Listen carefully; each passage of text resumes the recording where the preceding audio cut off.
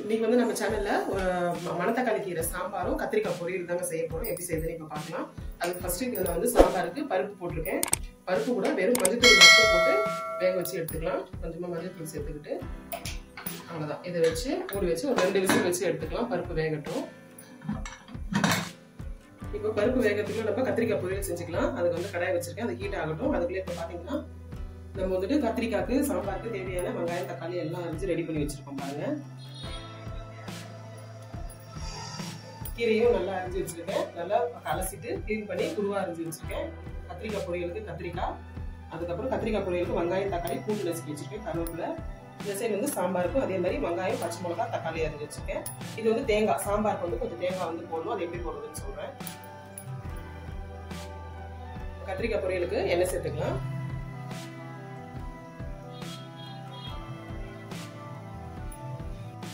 பார்த்தீங்கன்னா எண்ணெய் காஞ்சிருச்சு. கொஞ்சமாக கடல் மூட்டை வச்சு சேர்த்துக்கலாம். கூடவே ரெண்டு ஜீரகம்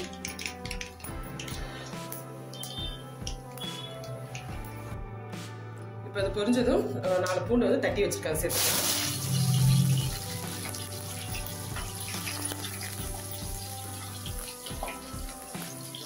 இப்போ வந்து இதில் கருவேப்பிலை கொஞ்சம் சேர்த்துக்கிட்டு ஒரே ஒரு வெங்காயம் நல்லா பொடியாக தட்டி வச்சுருக்காங்க சேர்த்துக்கலாம்.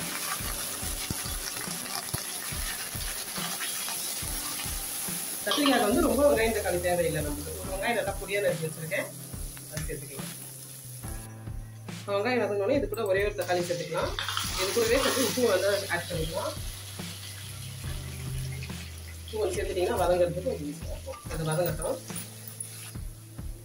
தக்காளி வதங்கிடுச்சு. கத்திரிக்காய் சேர்த்துக்கலாம். எண்ணெய் வந்து கொஞ்சம் அதிகமாக இருந்தாலும் நல்லா இருக்கும் கத்திரிக்காய். அதனால கொஞ்சம் அதிகமாக வச்சுருக்கேன். கத்திரிக்காய் வந்து இந்த மாதிரி நாளாக கட் பண்ணி வச்சிருக்கேன். இதெல்லாம் சேர்த்துக்கலாம். அரிஞ்சு தண்ணியில் போட்டுருங்க இல்லாட்டி கத்திரிக்காய் வந்து கருத்து போயிடும். இது எல்லாத்தையும் சேர்த்துக்கலாம்.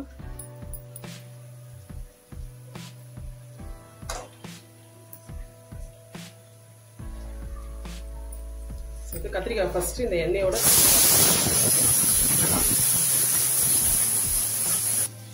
பாருங்க கத்திரிக்காய் நல்லா வதக்கியாச்சு. கலர் இந்த மாதிரி சேஞ்ச் ஆயிடுச்சு பாருங்க. இப்போ வந்து மிளகாத்தூள் சேர்த்துக்கலாம். குழம்பு மிளகாத்தூள் வந்துட்டு ஒரு ஸ்பூன் சேர்த்துக்கிறேன். அதுக்கப்புறம் காஷ்மீரி சில்லி வந்து ஒரு அரை ஸ்பூன் சேர்த்துக்கலாம் கொஞ்சம் கலருக்காக கொஞ்சம் டார்க் கலராக வந்து நல்லா இருக்கும் பார்க்கறதுக்கு. அதுக்காக கொஞ்சமாக காஷ்மீரி சில்லி பவுடர். சேர்த்துட்டு இந்த எண்ணெயிலேயே நல்லா வதக்கி விடலாம்.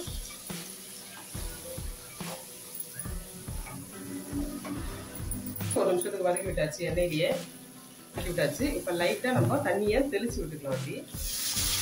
லைட்டாக அப்படி தெளிச்சுட்டு அப்படியே சிம்மில் வச்சு அப்படியே மூடி வச்சிடலாம். இது வேகட்டும் நல்லா இது அப்படியே இருக்கட்டும். கொஞ்சம் சிம்மில் வச்சுட்டு அப்படியே நம்ம மூடி வச்சுக்கலாம். அடிக்கடி கிளறி விடுங்க வேகிற வரைக்கும்.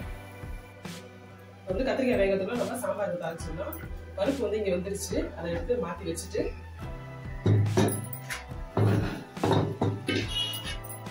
இதில் வந்து கத்திரிக்காய் போட்டுக்கலாம்.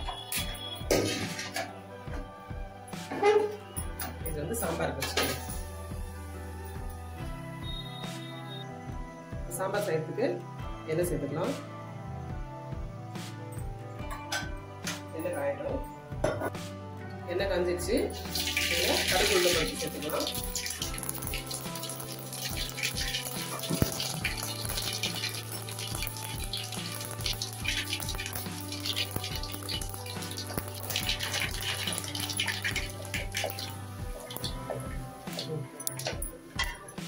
இப்போ இதில் வந்துட்டு ஒரு நாலு பச்சை மிளகாய் சீரி வச்சுருக்கேன். அப்புறம் ரெண்டு வெங்காயம் வந்து பொடியாக நறுக்கி வச்சுருக்கேன். இதையும் இதையும் சேர்த்துக்கலாம்.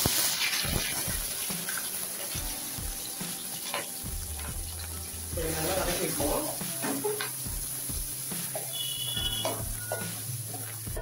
வெங்காயம் ஓரளவு வதங்கிடுச்சு. இப்போ வந்துட்டு தக்காளி சேர்த்துக்கலாம். ரெண்டு சின்ன தக்காளி. சின்னதாக ரெண்டு தக்காளி எடுத்து சேர்த்துருக்கேன் இதையும் நல்லா வதக்கிக்கலாம்.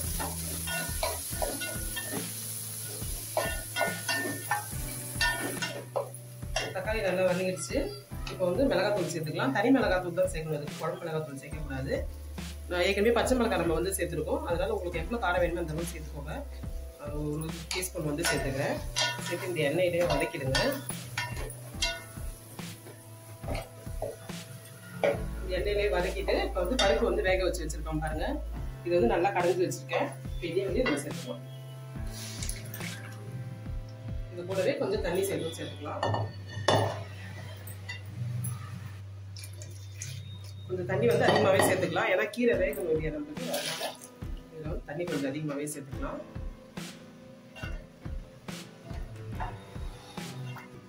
இதில் தேவையான அளவு உப்பு சேர்த்துக்கலாம். இப்போ கொதி வந்தோடனே நம்ம கீரை வந்து சேர்த்துக்கலாம். இப்போ வந்து இந்த சாம்பார் கொதிச்சு நம்ம கீரை போடுறதுக்கு தேங்காய் பேஸ்ட் ஒன்று ரெடி பண்ணிக்கலாம். தேங்காய் வந்துட்டு ரெண்டு சில் தேங்காய் எடுத்திருக்கேன். இதில் வந்து ஒரு டீஸ்பூன் சோம்பு சேர்த்து இது வந்து தண்ணி ஊற்றக்கூடாது குறை குறைப்பாக தான் அரைச்சி எடுத்துக்கணும். இது கூடவே கொஞ்சமாக மஞ்சத்தூள் கொஞ்சம் ஆட் பண்ணிக்கலாம். மஞ்சத்தூள் ஏற்கனவே நம்ம பருப்பில் போட்டிருக்கோம். இதுலேயே லைட்டாக வந்து மஞ்சத்தூள் சேர்த்துக்கலாம். இது வந்து குறை அரைச்சி எடுத்துக்கணும். பாருங்கள் தேங்காய் தண்ணி ஊற்றாம இந்த மாதிரி குறகுறப்பாக அரைச்சி எடுத்தாச்சு. இந்த மாதிரி தான் இருக்கணும். பாருங்கள் சாம்பார் நல்லா கொதிக்குது. இந்த டைமில் வந்து நம்ம அரைச்சி வச்ச தேங்காய் வந்து சேர்த்துக்கலாம். இது சோம்பு இருக்கிறதுனால இந்த சாம்பார் வந்து அவ்வளோ டேஸ்ட்டாக இருக்கும். வாசனையும் அவ்வளோ சூப்பராக இருக்கும். போட்டாச்சு. இப்போ இதில் வந்து கீரையும் நம்ம சேர்த்துக்கலாம். கீரையை வந்து நல்லா அலசிட்டு அரைச்சி வச்சுக்கணும் நல்லா. வந்து சாம்பார்ல கொஞ்சம் தண்ணி அது வந்து அதிகமாக விட சொல்றதுக்கு இதுதான் காரணம். கீரை போட்டாலே உங்களுக்கு கெட்டியாகும் பாருங்க. இது வந்து கொதிக்கணும். இந்த கீரை வந்து கொஞ்சம் லேட் ஆகும் வேகிறதுக்கு. ஸ்பீடு வந்து கொஞ்சம் கொதி வந்து நம்ம வந்து சிம்மில் வச்சிடணும். வச்சுட்டா உங்களுக்கு கொதிக்கும் போது கரெக்டாக இருக்கும். அவ்வளோதான் இது அப்படியே இருக்கட்டும். மூட வேண்டாம். கீரை போட்டுட்டு மூடக்கூடாது. இது அப்படியே இருக்கட்டும். சிம்மில் வச்சிடலாம். இது அப்படியே வெந்துட்டு இருக்கட்டும். இந்த சைடு வந்து நம்மளுக்கு கத்திரிக்காய் வந்து ரெடி ஆயிடுச்சு. அது சூப்பராக இருக்கு பாருங்க. அவ்வளோதான் கத்திரிக்காய் வந்து ரெடி ஆயிடுச்சு. இதை ஆஃப் பண்ணிடலாம். இந்த கீரைக்கும் இந்த கத்திரிக்காயும் காம்பினேஷன் அவ்வளோ சூப்பராக இருக்கும். அவ்வளோதான் கத்திரிக்காய் ஆஃப் பண்ணியாச்சு. கத்திரிக்காய் நம்மளுக்கு ரெடி ஆயிடுச்சு. அவ்வளோதாங்க இப்போ நல்லா கொதிச்சிருச்சு. கீரையும் நல்லா வெந்துருச்சு. கீரை எடுத்து நசுக்கி பார்த்தீங்கன்னா உங்களுக்கு தெரியும். நம்ம நல்லா நசுக்கி வரும். அந்த அளவுக்கு இருக்கணும். அந்த சூப்பரான நம்மளுக்கு மணத்தக்காளி கீரை வந்து சாம்பார் ரெடி ஆயிடுச்சு. நம்ம பிளேட்டிங் பண்ணலாம். கத்திரிக்காய் பொரியல்.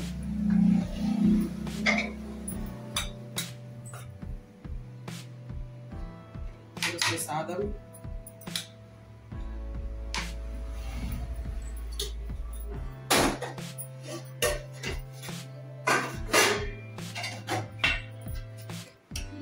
மணத்தக்காளி கீரை குழம்பு. சாம்பார்.